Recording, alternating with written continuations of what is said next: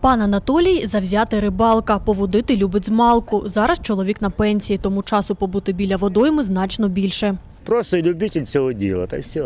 Як хобі, чи як то увеличення, там будемо так казати. З риболовлі зазвичай пан Анатолій повертається не з порожніми руками. Цього разу наловив карасів. Є для кого старатися. Вдома на чоловіка чекає дружина Адель. Вона й вирішує, що робити зі спійманою рибою далі: чи то підсмажити, чи зварити юшку. Подобається рибалити й пану Григорію. Для нього це відпочинок. Рибалка це удовольствие.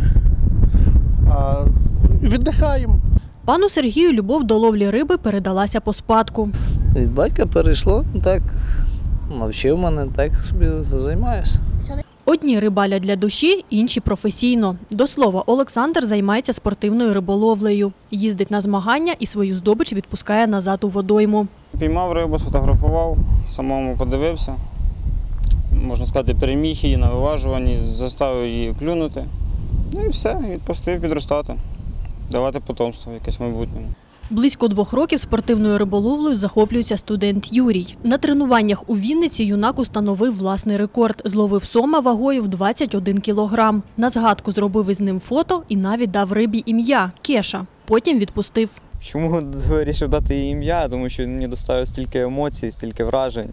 Я просто боровся з ним протягом півгодини і за цим спостерігала вся еліта українського спінінгу. Так як чемпіонат Вінниці був фактично тренуванням перед чемпіонатом України, показав, на що я здатний. Просто боровся з ним з дуже делікатною снастю, яка не розрахована взагалі на розміри такої риби, і фактично дістати її з такими снастями нереально.